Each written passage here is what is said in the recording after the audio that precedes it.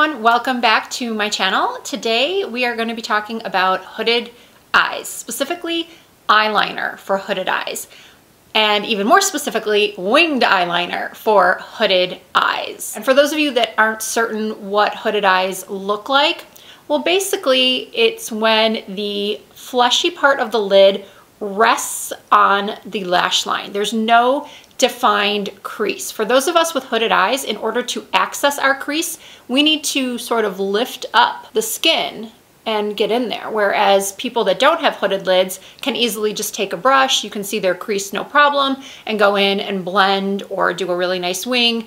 But again, with hooded eyes, we've got extra skin. So it creates this fold on the outside that makes it difficult to do a smooth winged liner. Over the years, I've uploaded quite a few tutorials on how I prefer to do winged eyeliner on hooded eyes. And my preferred technique does create a more dramatic, thicker wing on the outer corners. And I know that look is not for everyone. And to be honest with you, this look is not going to be for everyone either.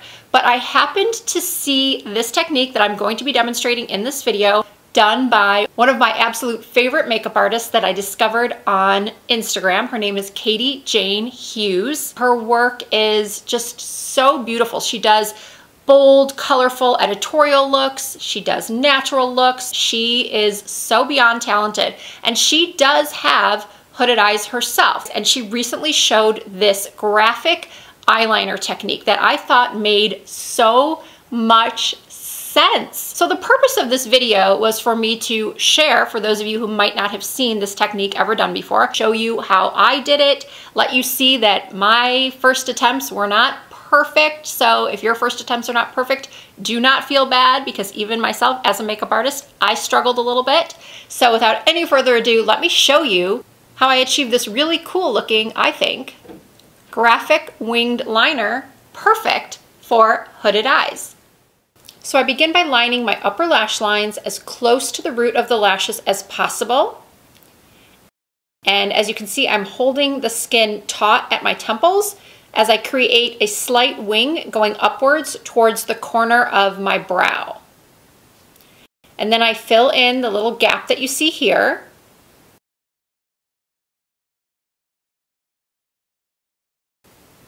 Now with my eyes open, I'm bringing the line back in towards my lash line. However, I'm keeping the line very small. I'm not bringing it all the way back to the lash line. So from this angle, it does look a bit strange, but when my eyes are open, it gives the illusion of one complete uninterrupted line. And now I'm going back in and making the lines a little bit thicker so that when I open my eyes again, you don't see any flesh coming through. Because my eyesight is very poor and I have to get right up close and personal with my magnifying mirror, I know my angles aren't the best. This was very difficult for me to film and to capture. So I'm gonna show you again on my other eye, just for hopefully a little bit more clarity. Once again, I'm just lining very close to the lashes with my liquid liner. Then I'm creating a slight wing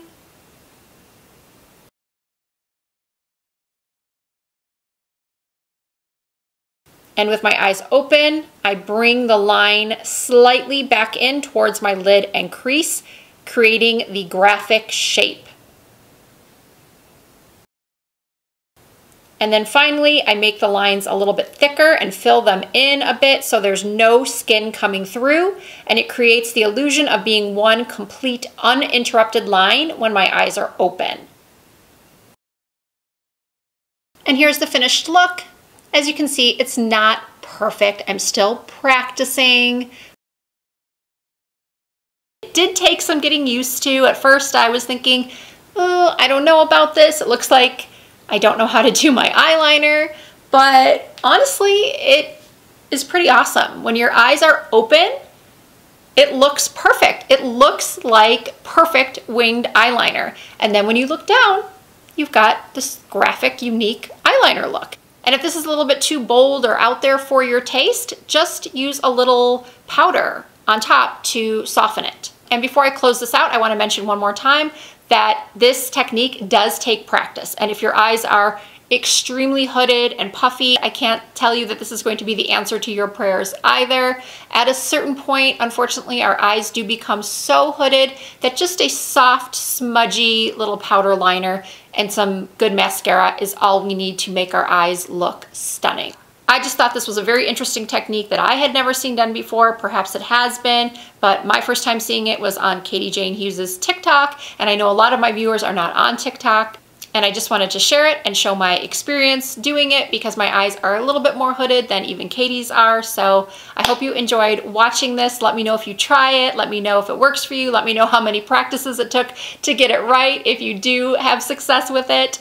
And if not, just keep practicing. I will put Katie's Instagram handle in the description box as well as her TikTok handle. Even as a makeup artist myself for more than 20 years, I have learned a lot from her. So definitely check her out. And if you're not already following me on Instagram or Facebook or Twitter, I have accounts on all those platforms as well. It's all Risa Does Makeup. And if you're not already subscribed to my YouTube channel, please hit that subscribe button and join the Risa Does Makeup family. And finally, if you did like this video, please give it a thumbs up. Thank you all so much for watching. I look forward to seeing you in my next video.